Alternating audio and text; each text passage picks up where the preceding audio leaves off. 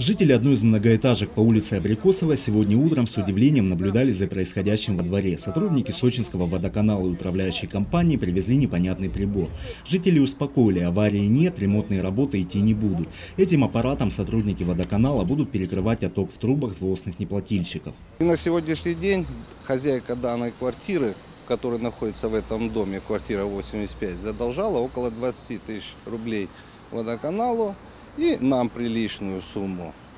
Э, Неоднократные наши просьбы погасить долг положительных результатов не дали. В связи с этим, имея оборудование по блокировке водоотведения совместно с Сочи водоканалом, мы сейчас проведем отключение данной квартиры, блокируем канализацию.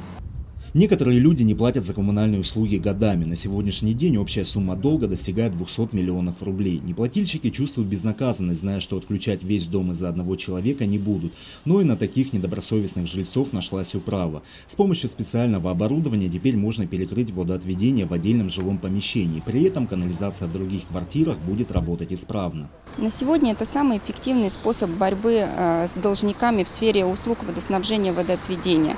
Значит, закон на сегодня позволяет, а современные технологии, с помощью современных технологий мы можем реализовать это на практике. То есть дистанционно мы можем вводить услугу ограничения водоотведения, даже независимо дома собственник квартиры или нет. Принцип работы ограничителя стоков следующий. С крыши здания в общую канализационную трубу опускается зонд, внутри которого находится видеокамера. Она передает изображение на монитор, помогая оператору направить зонд до этажа неплательщика. На месте выхода стоков устанавливается заглушка, снять которую своими силами должник не сможет. Вы сможете пользоваться туалетом после того, как вы произведете оплату вашего долга, и плюс еще оплатите долг, оплатите работы по демонтажу данного оборудования возьмите уведомление об отключении. Приятно.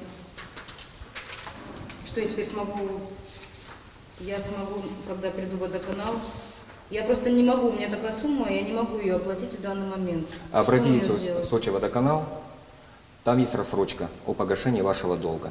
Перед введением ограничения должника уведомляют и дают последний шанс погасить долг. Иначе в дело вступит оборудование, которое сделает использование санузла невозможным. Да и неприятный запах моментально распространится по всей квартире.